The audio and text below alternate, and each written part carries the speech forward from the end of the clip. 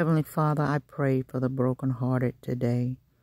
I ask that you bind up their wounds, their broken hearts. Give them beauty for ashes, the oil of joy for their mourning, their grieving, and the garment of praise for the spirit of heaviness that weighs so very hard on their soul and their mind.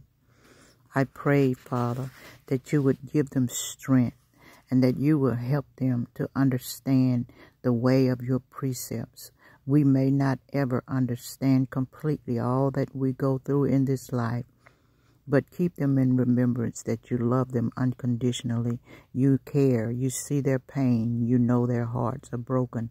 And according to your word, you are close to the brokenhearted.